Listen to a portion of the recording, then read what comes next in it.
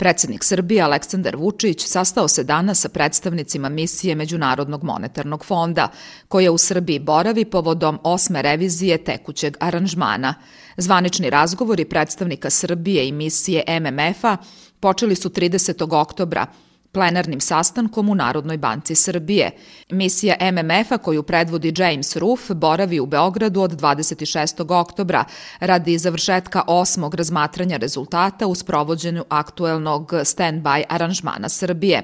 Trogodišnji stand-by aranžman koji je zaključen februara 2015. godine uspešno se sprovodi uz ostvarenje dobrih makroekonomskih rezultata u okviru dogovorenog ekonomskog programa, saopštila je ranije Narodna banka Srbije. Tokom ovog razmatranja aranžmana, koje je i poslednje, razgovaraće se o najnovijem makroekonomskom i fiskalnom kreditiranju, realizaciji dogovorenih mera i trećem tromesečju 2017. godine, kao i o okviru budžeta za 2018. godinu. Posebna pažnja bila je posvećena merama za sprovođenje važnih strukturnih reformi, a diskutovane su i mere koje mogu da učvrste postignute rezultate i unaprede ekonomsku efikasnost. Imajući u vidu da aktuelni stand-by aranžman ističe februara 2018. godine, razgovara se i o modalitetima buduće saradnje sa Međunarodnim monetarnim fondom, navedeno je u saopštenju.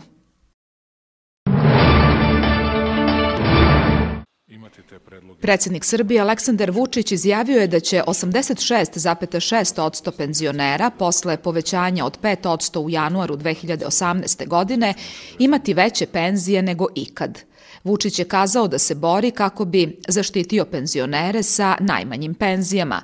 Svi penzioneri koji su primali do 37.100 dinara pre mere štednje, a to je 86,6% od ukupnog broja, sa povećanjem od 5% imaće ili značajno veće ili nešto veće penzije. Oni sa penzijama do 40.000 dinara, a njih je 110.000, imaće za nijansu za 100, 200 ili 300 dinara niže penzije. Za one koji imaju više od 40.000, a njih je 173.000, smanjit će se taj razmak, ali će i dalje imati niže penzije, kazao je Vučić. Govoreći o obećanjima u vezi sa povećanjem plata, Vučić je rekao da prosečna plata u Srbiji danas iznosi 407 evra, a da će do marta naredne godine dostići 440 evra. Stvari idu u dobrom smeru, to kažu i Svetska banka i MMF. Rezultat je danas da će svi ljudi, sem 27.000, što je minimalan broj u javnoj upravi, imati veće plate nego što su ikada imali, izjavio je Vučić.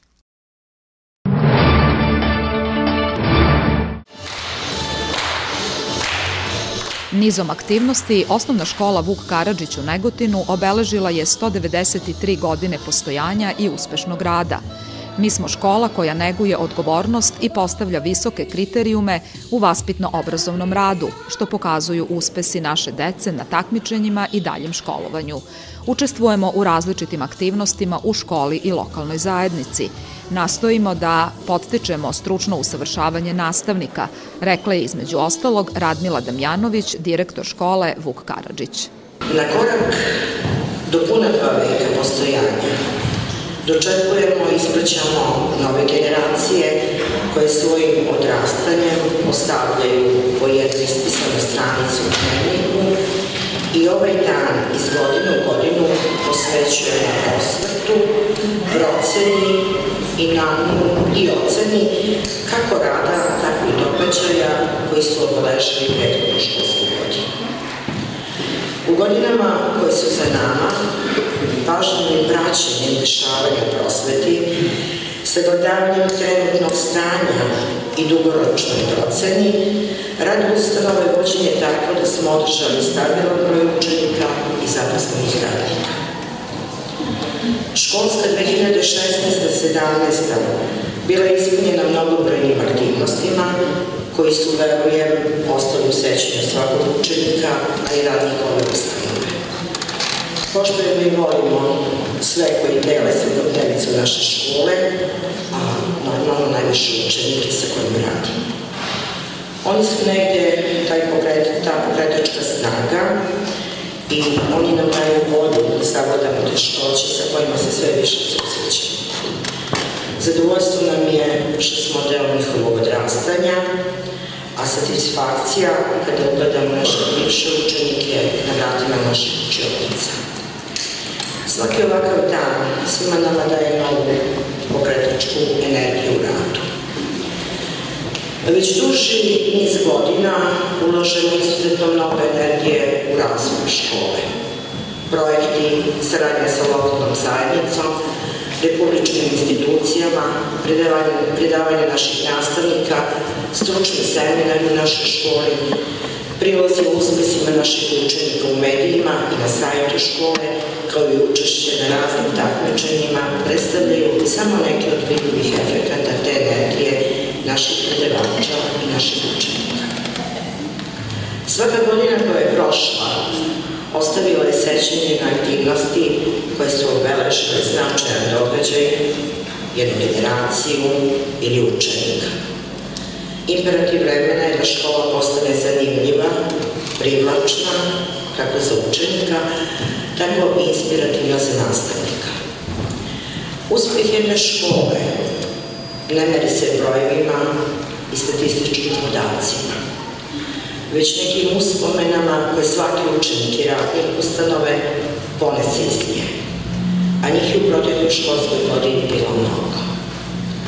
Predstavili smo se gradu učešćem u obležavanju Okračevih dana, nizom aktivnosti u Dečijoj nedelji, povodom dana škole, Svetosavskoj akademiji, u manifestaciji škole gradu i izložbama likovnih radova. Obeležili smo važne datume iz školskog kalendara. Promovisali smo humanitarne vrednosti u akcijama za dobrobre svaki dan dobar dan i čekom do osmeha akcija koja je nastavljena i u ovoj školskoj godini.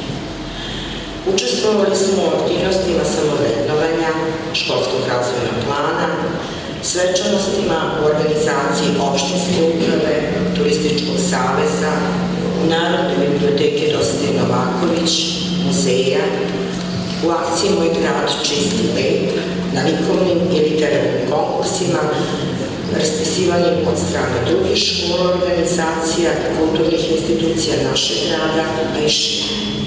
U okviru obeležavanja Dana škole upriličena je izložba pod nazivom Radi delo Đorđa Marinkovića.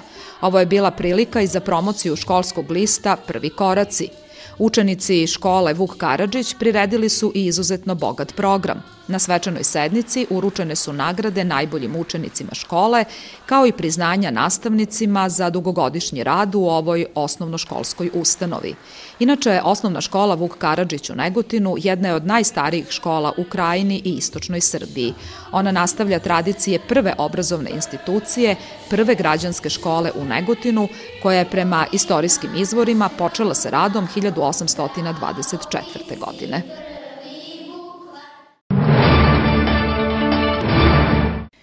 U Srbiji ima 41 slučaj malih boginja, među njima i beba od 3 meseca. Male boginje posebno su opasne po malu decu, a komplikacije kojima su najpodložniji oboleli uzrasta od 5 do 20 godina mogu biti veoma teške, pa je vakcinacija izuzetno važna, ocenjuju stručnjaci. Beba od 3 meseca najmlađa je osoba obolela od malih boginja na teritoriji Srbije i srpskih enklava na Kosovu, dok najstariji oboleli ima 43 godine. Od početka oktobra 2017. godine, zaključno sa 3. novembrom, na teritoriji Srbije, uključujući i teritoriju nadležnosti Zavoda za javno zdravlje Kosovska Mitrovica, registrovan je ukupno 41 slučaj malih boginja, kažu u Zavodu za javno zdravlje Milan Jovanović Batut. Njihovi podaci dokazuju koliko je vakcinacija važna, pošto 93% obolelih nije primilo MMR vakcinu koja štiti od zauški, rubeola i malih boginja. Među obolelima koji su registrovani u Srbiji i srpskim enklavama na Kosovu, njih 73 odstoje na bolničkom lečenju, a dve osobe su dobile upalu pluća. Osim što komplikacije malih boginja mogu da budu opasne po život, Morbili su opasni i po tome što se veoma brzo šire. Male boginje jedna su od najzaraznijih bolesti, pa jedna osoba može da zarazi čak 17 drugih.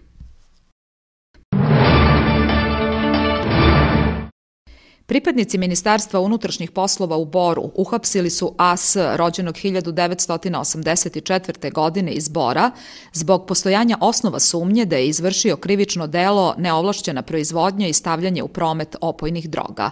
Policija je kod njega pronašla i oduzela oko 300 grama marihuane i vagicu za precizno merenje. Po nalogu nadležnog tužilaštva, osumnjičenom je određeno zadržavanje do 48 sati i u zakonskom roku uz krivičnu prijavu biće sproveden tužiocu, navodi se u saopštenju policijske uprave Bor. U Srbiji će narednih dana biti oblačno i hladnije. U sredu i četvrtak biće pretežno do potpuno oblačno, mestimično sa kišom. U petak i subotu pretežno sunčano. U nedelju i početkom naredne sedmice biće oblačno i hladnije, u višim planinama sa snegom. U većini krajeva, osim Timočke krajine, biće pretežno sunčano vreme, saopštio je Republički hidrometeorološki zavod. U sredu oblačno, duvaće slab i umeren povremeno jak jugoistočni vetar.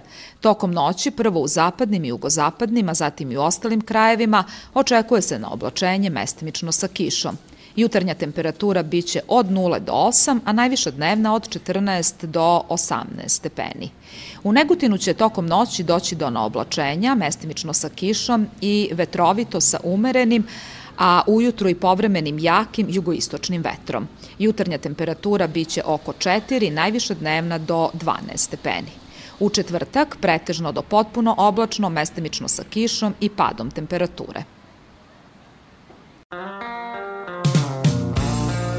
Želite da pronađete sve za vaš dom i osvežite prostor u kojem živite. U prodavnici Alta Boje Negotin, asortiman bez granica – Sve za fasadu, najkvalitetniji materijal za vaš dom, lakovi i boje.